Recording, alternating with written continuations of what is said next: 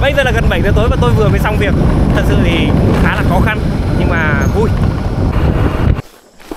À, Nhà mình là chuyên làm về uh, dựng rào anh À, chào chị. Chị chào em bé. Đấy được rồi. Eo. Hello. Đấy được anh ạ, không không quan trọng Ngày hôm nay tôi nhận một kèo kết sắt còn mã còn chìa vặn mở không được thì chắc chắn là do một cái gì trục trặc ở trong phần hộp. Nếu như mà mã vẫn đúng sau khi mà kiểm tra xong thì tôi thấy cái chốt đẩy nó đã bị gãy cong. Bây giờ có hai cái cách để khắc phục. Một là nắn nó lại thẳng để sử dụng cái lẫy đẩy tự động. Khi đóng vào thì cái lẫy này nó tự khóa cửa sập khóa.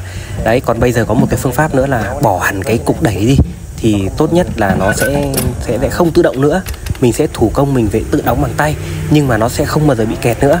Đó đó là hai phương pháp mình có thể khắc phục. Hai.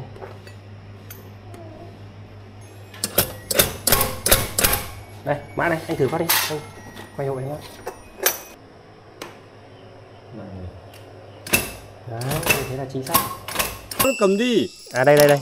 Không phải cái này không phải, Không phải. cái này ở nhà. Thì cái này Ờ, à cái này bây giờ không không cầm à? Hay là Ờ, cái cái kia vẫn để ở nhà à đây đúng rồi cái này là cái gốc của nó. Ờ, không cái hôm trước mất là cầm ra cửa hàng cháu làm cái ờ, khác. ờ, đấy, đấy. Ờ. bây giờ cái này lại hai cái dùng hai thứ. Hai thứ nó khác ổ khóa. Thôi chào bác. Thôi Ờ, chào anh. ờ, em về đã. dạ. Ờ, ờ, có nhiều anh em thắc mắc tại sao tôi không chọn ra những thành phố lớn làm? Giờ là gần 7 giờ tối và tôi vừa mới sửa xong cái két cho anh khách. Thật sự là cũng hơi khó khăn một chút xíu Nhưng mà cũng cố gắng để làm. Anh em có thể nhìn thấy là cái khung, khung cảnh bây giờ đây này. Khá lạnh Đấy, nếu như mà anh em nào ở khu vực mà còn đang nóng thì để tôi gửi cho một chút cái không khí mát mẻ như này. Kế được hóa vừa bán, vừa phá.